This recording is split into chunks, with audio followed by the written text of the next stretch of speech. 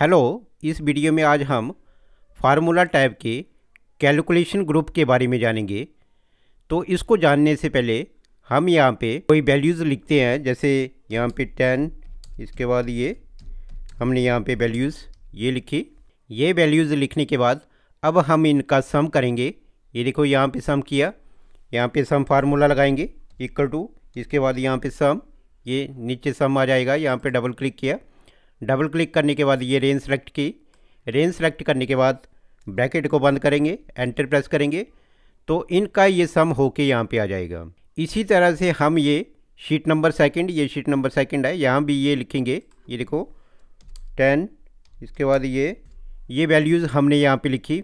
लिखने के बाद हम इनका भी यहाँ पे सम करेंगे तो सम यहाँ पे फार्मूला यूज़ करेंगे। ये सम इसके बाद सम नीचे आ जाएगा, यहाँ पे डबल क्लिक किया। डबल क्लिक करने के बाद ये रेंज सेलेक्ट की। रेंज सेलेक्ट करने के बाद ब्रैकेट को बंद करेंगे, एंटर प्रेस करेंगे। शीट नंबर सेकंड में भी ये सम होके आ गया। इसके बाद ये शीट नंबर थर्ड है, यहाँ भी हम इसका सम करेंगे।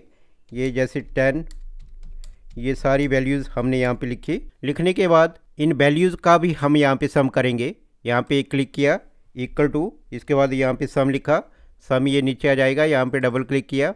इसके बाद ये रेंज सेलेक्ट की। रेंज सेलेक्ट करने के बाद ब्रैकेट को बंद करेंगे, एंटर प्रेस करेंगे। तो ये शीट नंबर थर्ड में भी ये वैल्यूज़ का सम यहाँ पे आ जाएगा। तो इस तरह से हम शीट नंबर वन, ये देखो ये सम आया हुआ है। शीट नंबर सेकंड, इसमें भी ये सम आया हुआ है। शीट नंबर थर्ड, इसमें भी ये सम आया हुआ है। तीनों शीटों में हमने यहाँ पे सम फार्मूला यूज़ किया हुआ है। इसके बाद शीट नंबर वन, यहाँ पे क्लिक किया। क्लिक करने के बाद यहाँ पे हम कैलकुलेशन ग्रुप में जाएँगे। तो सबसे पहले यहाँ पे हम कैलकुलेशन ऑप्शन इसको करेंगे। तो कैलकुलेशन ऑप्शन इसका यूज़ हम तब करते हैं जब हम ये चाहते हैं कि इस कैलकुलेशन को हम ऑटोमेटिकली करें या मैनुअली सेट करें, तब हम कैलकुलेशन ऑप्शन का यूज़ करते हैं। तो ये देखो, यहाँ पे कैलकुलेशन ऑप्शन के मोर बटन पे क्लिक करेंगे। यहाँ पे हमारे पास ऑप्शन आ जाएँगे, जैसे ऑटोमेटिक यहाँ पे दिया हुआ है, इसके बाद मैनुअल है। तो यहाँ पे ऑटोमेटिक ये अगर यहाँ पे इसको चेक किया हुआ है तो इससे क्या होगा?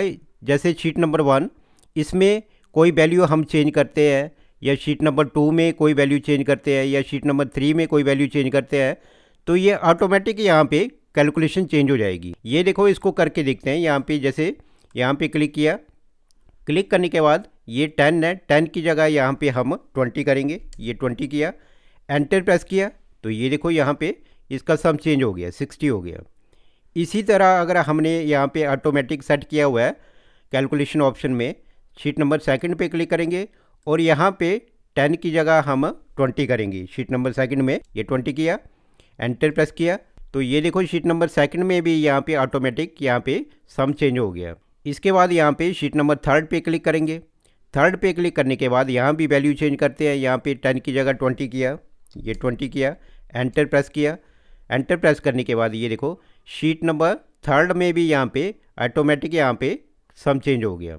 तो इस तरह से कैलकुलेशन ऑप्शन में अगर हमने ऑटोमेटिक सेट किया हुआ है तो अगर हम यहाँ पे शीट नंबर वन यहाँ पे कोई वैल्यू चेंज करेंगे तो इसका सम ऑटोमेटिक चेंज हो जाएगा।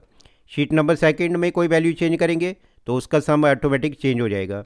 शीट नंबर थर्ड पे कोई चेंज करेंगे तो उसका सम ऑटोमेटिक चेंज हो जाएगा। इसके बाद फिर हम यहाँ पे कैलकुलेशन ऑप्शन पे जाएँगे और कैलकुलेशन ऑप्शन पे जाने के बाद यहाँ पे दिए गया है मैनुअल मैनुअल का मतलब ये होता है, अगर हम इसको चेक करेंगे, ये देखो यहाँ पे इसको चेक किया, यहाँ पे ये चेक हो गया मैनुअल अगर हम यहाँ पे शीट नंबर वन पे कोई वैल्यू चेंज करते हैं तो इसका सम यहाँ पे चेंज नहीं होगा। ये देखो यहाँ पे ट्वेंटी की जगह अगर हम यहाँ पे थर्टी करेंगे एंटर प्रेस करेंगे तो एंटर प्रेस करने के बाद ये देखो, ये जो सम था, ये चेंज नहीं हुआ।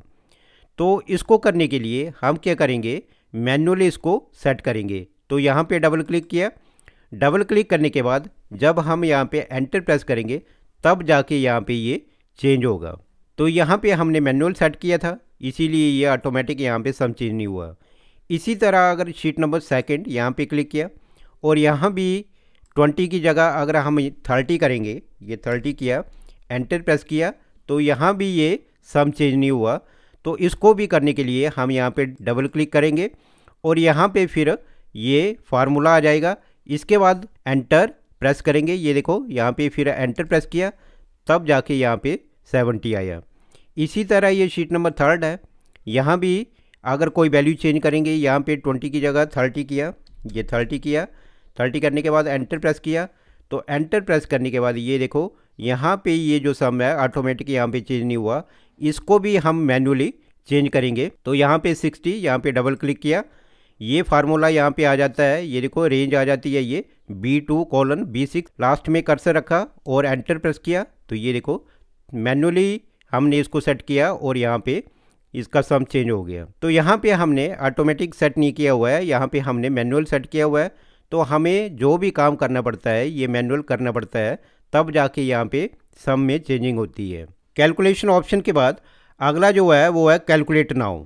इसका यूज़ हम तब करते हैं जब ऑटोमेटिक कैलकुलेशन ऑफ़ होती है और हम ये चाहते हैं कि सारी वर्कबुक में कैलकुलेशन हो जाए, तब हम कैलकुलेट नाउ का यूज़ करते हैं।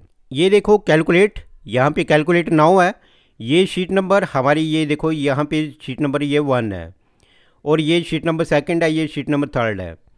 अगर हम ये चाहते हैं कि यहाँ पे कैलकुलेशन ऑप्शन यहाँ पे मैनुअल सेट किया हुआ है ऑटोमेटिक यहाँ पे ऑफ़ किया हुआ है, और ये अगर हम ये चाहते हैं कि यहाँ पे शीट नंबर वन यहाँ पे कोई वैल्यू चेंज करे तो ये ऑटोमेटिक चेंज हो जाए।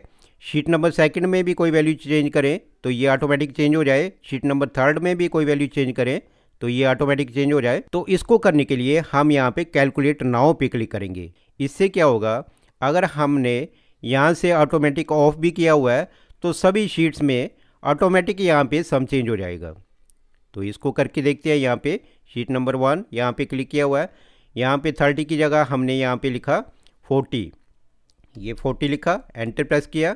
तो एंटर प्रेस करने के बाद ये देखो, यहाँ पे ये जो सम है, ये सेवेंटी रहा, यहाँ पे एट्टी नहीं आया।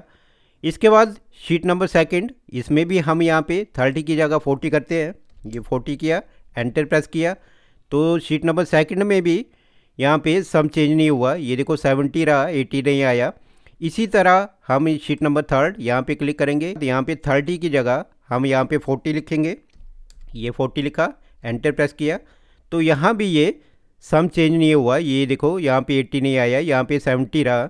ना शीट नंबर सेकंड में चेंज हुआ। ये देखो सेकंड शीट नंबर है यहाँ भी चेंज नहीं हुआ। ये देखो शीट नंबर वन है, यहाँ भी ये सम चेंज नहीं हुआ। तो इन सभी शीटों में सम को चेंज करने के लिए हम यहाँ पे ये कैलकुलेट नाउ इसके ऊपर क्लिक करेंगे। तो ये देखो, ये शीट नंबर वन है, यहाँ भी ये सम सही हो गया, एटी आ गया। शीट नंबर सेकंड पे क्लिक करेंगे, ये देखो, यहाँ भी ये सम सही हो गया एट्टी यहाँ पे आ गया।